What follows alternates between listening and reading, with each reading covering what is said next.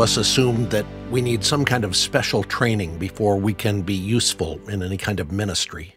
But today on Truth for Life, we find out how Jesus made an evangelist out of an unlikely man after one brief but extraordinary encounter. Alistair Begg is teaching from chapter 8 of Luke's Gospel, verses 26 through 39.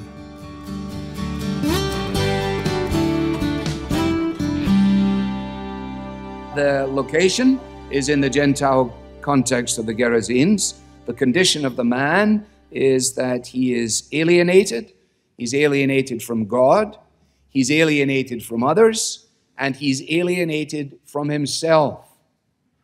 Now, if you, if, if you think about the doctrine of reconciliation, where Paul says, you know, uh, we beseech you on Christ's behalf, be reconciled to God. Receive the reconciliation which God has provided for you in the gospel. Who needs to be reconciled?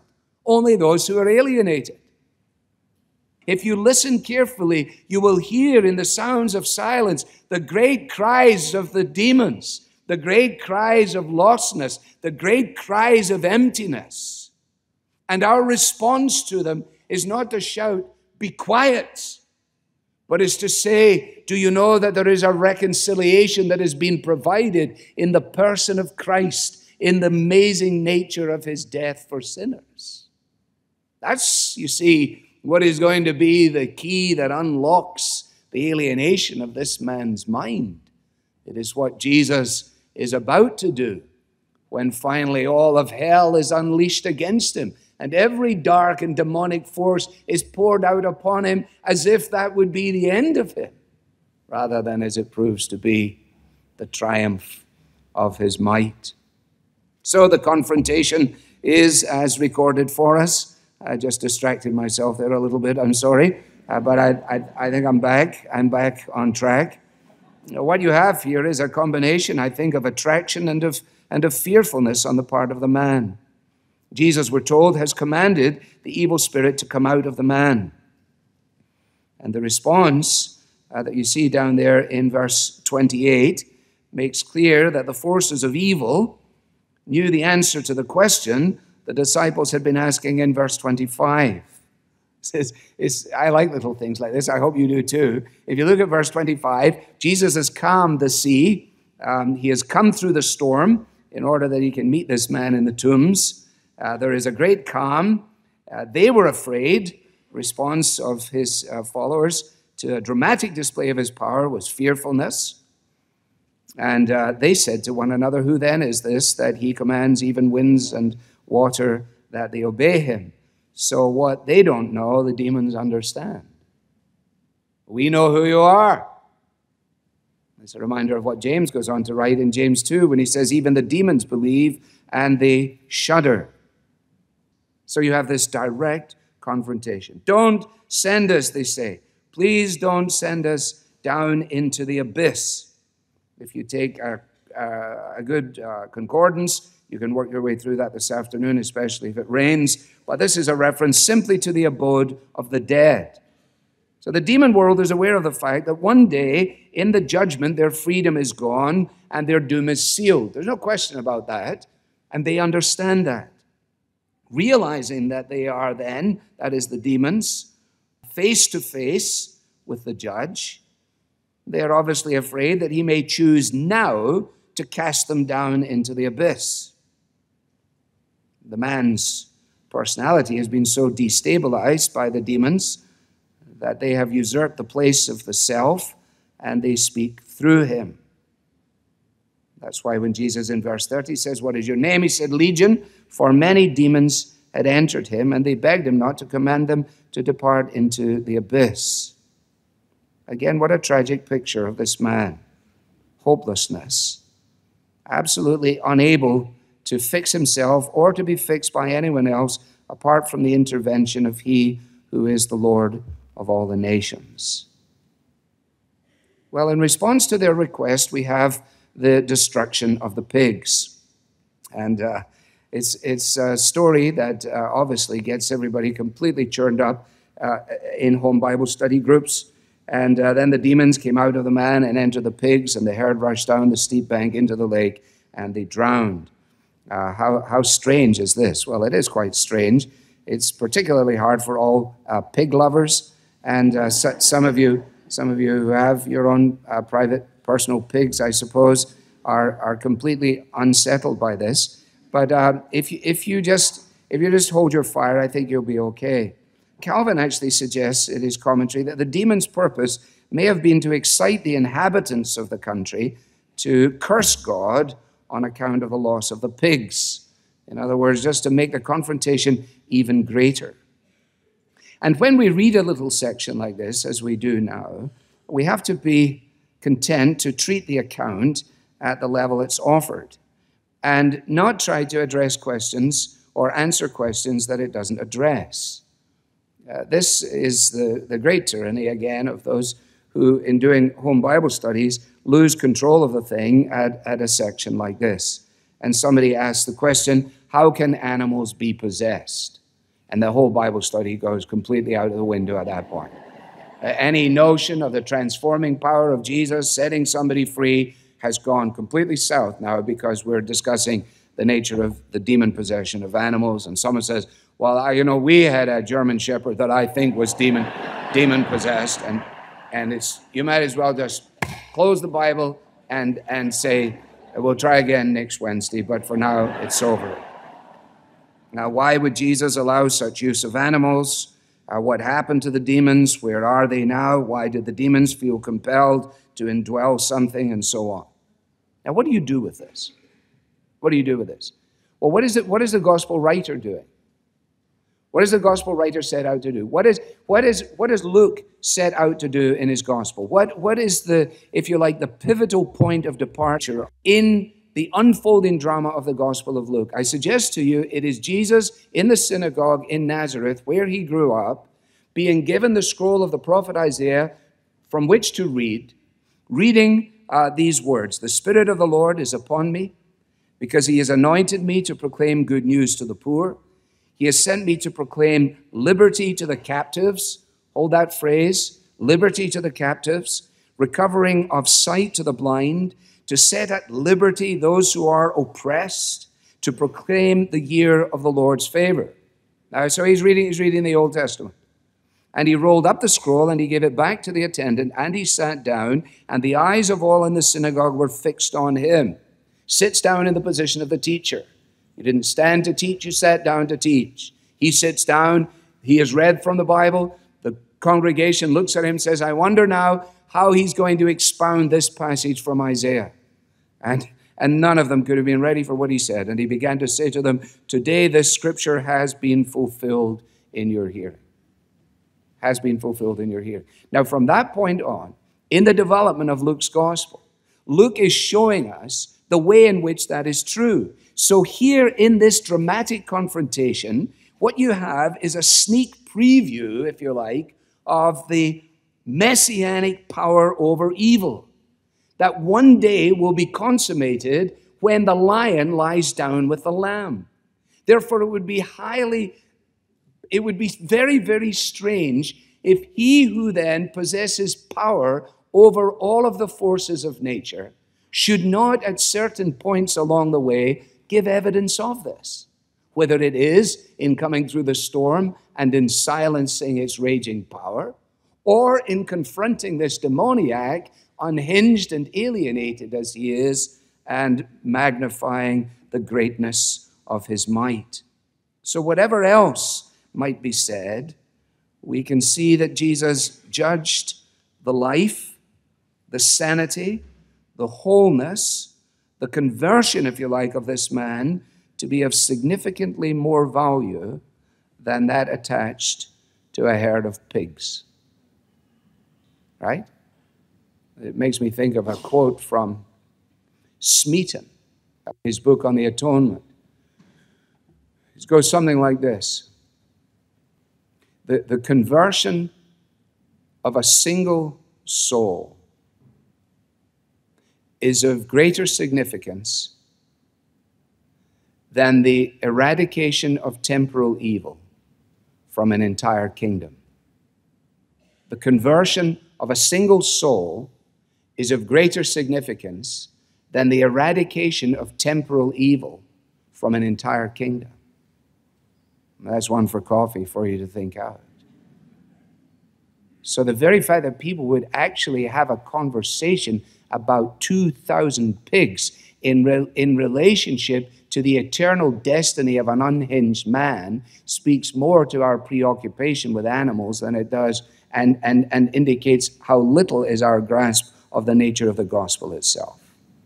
And that is not to be unkind to any uh, uh, wonderful animal lovers that are here. I, I love animals too, provided they stay in their proper place. So, well, let's just say uh, something concerning the reaction of the people. The reaction of the people. When the herdsmen saw what had happened, they fled and told it in the city and in the country. It's a bit like yesterday, isn't it? The lady goes and she immediately uh, rushes off to let everybody know the dramatic power of Jesus. And then, as in John 4, when the people came out of Sychar to see what was going on, the people come out here to see what had happened, and they came to Jesus and they found the man from whom the demons had gone sitting at the feet of Jesus, clothed and in his right mind. And as a result of that, they decided that Jesus should stay and have an evangelistic campaign over the next two or three days. No. And they were seized with great fear. And they decided that he should uh, leave the region. Well, it's quite an indication, isn't it, of the fact that um, the impact of the gospel in a life is not immediately met with alacrity, is it? When somebody goes back into his office or goes back into the lab or goes back into the, the classroom. Uh, once a, a sort of completely out of control character in one direction, and now he has come or she has come back in clearly changed. And the response of people so often is not to say, Oh, do tell me how this happened to you. This is a wonderful thing. But is to be seized by fear and to encourage one another, stay away from her. She's gone loopy. She's gone strange. The fact that she was loopy and strange before and has now come to another kind of strange apparently doesn't matter at all. No, but you see, it isn't normal for people to be changed like that, isn't it? It was sort of weird that this man, who had been so weird, would now be so normal. You would expect that people would say, somebody who can do something like this for this man that nobody could help, we would like to know this man. But that's not what they say. They don't immediately uh, uh, uh, plan, you know, a men's event. Somebody says, well, this is fantastic. We can make a buck off this. You know, we've lost some money on the pigs, but we can recoup. We'll sell tickets for this. Uh, we'll, we'll, we'll, have a, we'll have a men's event, and, and we'll say, uh, we'll put up posters speaking tonight uh, at the Gerasene men's banquet is, uh, uh, you know, Tommy the tomb dweller, uh, naked, naked Neil. He will be there in full technicolor to let everybody know what has wonderfully happened to him. No, it's not happening like that at all. He who had been demon possessed is now the one from whom the demons have departed. He who had been naked and out of his mind is now clothed and in his right mind. He who had fallen down and shouted in verse 28 is now sitting purposefully at the feet of Jesus. And what has happened? Well, it's the fulfillment of the prophet's words again in the synagogue in Nazareth. The Spirit of the Lord is upon me to release the oppressed. Despite the unambiguous evidence of God's power, the townsfolk have no interest save that of ridding their region of this radical Jesus. Now, it gives the lie, doesn't it, to the idea that if you just sort of position everything, then everybody will be running out to find out what's going on. No, they're not. Men and women by nature do not seek God. We run from God. The story of the gospel is not the story as the media represent it to us routinely at the high holidays, as it were, of religious festival. Namely, uh, they will always come up with a story about people are out looking for God, and God has gone on vacation, and they were finding him somewhere out in the nether regions, and uh, apparently his phone is off the hook, or he has no service out there on, on, on his iPhone. Uh, but nevertheless, they're looking for God. This is the great story of religion. Man is out there looking for God. No, he's not. The great story is that God is out there seeking for man. Jesus, my Savior, to Bethlehem came, born in a manger to sorrow and shame. Oh, it was wonderful. Blessed be his name, seeking for me, for me. The man on the bed, Nick at night, the woman at the well, the guy in the tombs. Same story, same wonderful story. Is it your story? Not a story about religious expectation or hopes or dreams or turning over a new leaf or engaging with God or finding yourself or feeling more spiritual. No. No, the radical invasion of God Himself, turning our lives upside down, which, since they are by nature upside down, is then to be turned the right way up. And suddenly, we look at the world in a different way. Well, finally, uh, notice uh, the commission that the man received from Jesus, which ran counter to his request. Jesus granted the demon's request, and he let the uh, demons go into the pigs. He acceded to the uh, request of the townspeople go away from here, but he refuses to grant this man what he asks. It's no surprise that the man uh, is desirous of sticking with Jesus, staying close to Jesus. After all, he was the one who had brought uh, clarity out of a life of chaos. But we're told quite strikingly that Jesus sent him away. But Jesus sent him away. The man from whom the demons had gone begged that he might be with him, but Jesus sent him away. But I think it's a much better idea if I stay with you, Jesus. And Jesus sent him away. Oh, but Jesus, oh, but, oh, but, oh, but, get out of here. But Jesus, I thought you were a nice person. If you were a nice person, you let me stay with you. Get out of here. You see, in the providences of God are seldom self interpreting. This man tried to understand his experience in that moment. It made perfect sense to him that he should stay with Jesus. But actually, in the providence of God, he was the first missionary now. He was the, he was the missionary that was left behind. He had, he, had, he had met Christ on the hillside, but he, but he was now going to go back to his, uh, stay in his neighborhood and tell others about him. So Jesus leaves, but he leaves him behind. One whose transformation would be absolutely obvious to all. He also, when he thought about it, and when the evil one would come to him and say, You know, uh, maybe you still are demon possessed. Legion, Legion. Wow, what, what, what wonderful visible picture he had. Because there, he said, No, Jesus drowned all the demons. He drowned them, every one. You ask me why I'm happy, and I'll just tell you why. Because my sins are gone. And when I meet with others who ask me where they are, I say, My sins are gone. They're underneath the blood of the cross of Calvary, as far removed as darkness is from dawn. In the sea of God's forgetfulness, that's good enough for me. Praise God. My sins are gone. And, they, and Jesus gave him this fantastic, visible reminder. So when the evil one came and accused him, he said, No, no. And Jesus has given to each of us a fantastic visible reminder. Upon that cross of Jesus, my eye at times can see the very dying form of one who suffered there for me. And from my smitten heart with tears, two wonders I confess the wonder of redeeming love and my own worthlessness.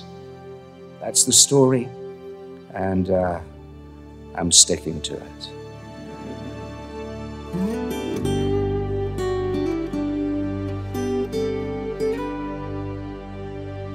It is Jesus and only Jesus who grants deliverance and gives us a story to tell. You're listening to Truth for Life with Alistair Begg. Alistair will be right back in just a minute to close the program with prayer. Do you have a story to tell? We're seeing in this series how Jesus breaks down social barriers to seek the lost and the rejected. If you'd like to know more about who Jesus is, what it means to follow him, we've posted a short, helpful video on our website that effectively explains the life of Christ, his death and resurrection, and what that means for you. You can watch the video by searching truthforlife.org slash the story.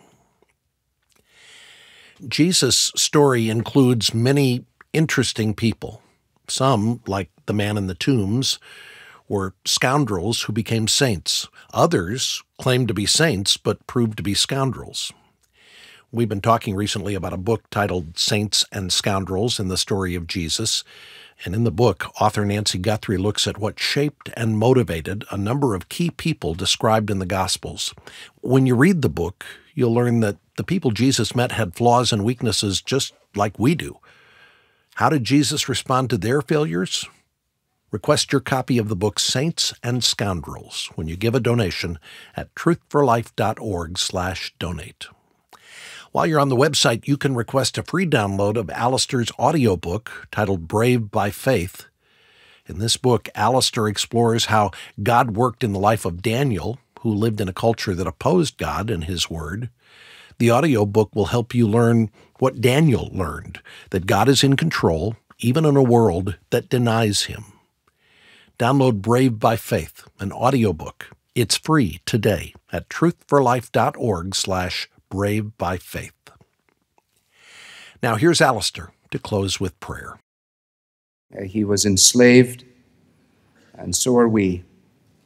Turned in upon himself, and so are we.